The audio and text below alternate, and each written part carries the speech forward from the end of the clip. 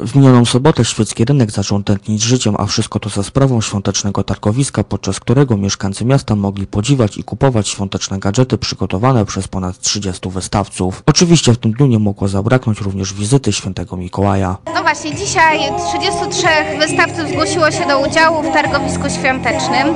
Wśród e, tutaj zaproszonych, czy zgłoszonych do, e, do udziału w imprezie mamy panie, które przygotowały fantastyczne, przepyszne wypieki. Mamy rękodzieło artystyczne, mamy dekupaż, ozdoby z filcu, e, jest biżuteria ręcznie robiona, e, miody, przetwory, naturalne soki, także warto dzisiaj tutaj na rynku się pojawić. Już od samego początku tętni rynek życiem, także odwiedzają mieszkańcy naszych wystawców, chętnie, e, chętnie oglądają, a także chętnie robią już zakupy. Warto dodać, że inicjatywa targowiska cieszyła się sporym zainteresowaniem mieszkańców świecia, dzięki czemu dało się wyczuć atmosferę przygotowań do zbliżających się świąt. Liczny odzew świecian zwiastuje też, że impreza odbywać się będzie cyklicznie. Czuć atmosferę zbliżających się świąt już w momencie, kiedy zapaliła się choinka na dużym rynku, także i nawet wśród wystawców był taki wielki oddech, także zbliżamy się dużymi krokami do świąt Bożego Narodzenia. Pozytywnym jest wydarzeniem właśnie to, że wystawcy bardzo chętnie odpowiedzieli na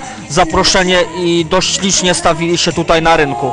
Jest to pierwsza impreza y, właściwie tego typu z, z wystawcami u nas na rynku. Mam nadzieję, że ona będzie jakby no, z roku na rok się mogła powtarzać. Y, chętnie się zgłosili, ale też jest konkurs ogłoszony dla wystawców, także mamy, jury będzie oceniało najpiękniejszy kram, także mamy nagrody pieniężne do rozdania, więc myślę, że tu też było po części jakąś taką zachętą.